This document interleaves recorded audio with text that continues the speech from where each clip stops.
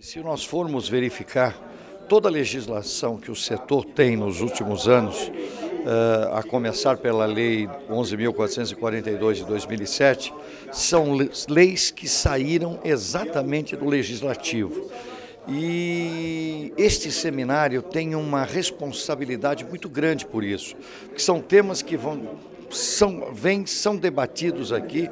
de forma estritamente democrática e com isso tem se entendido dentro da Comissão de Viação e Transportes a necessidade da melhoria dessa relação através de legislação adequada, legislação apropriada.